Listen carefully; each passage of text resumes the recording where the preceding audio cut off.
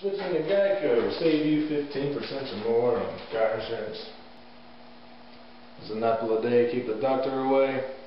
Alright, now this is gonna hurt a bit.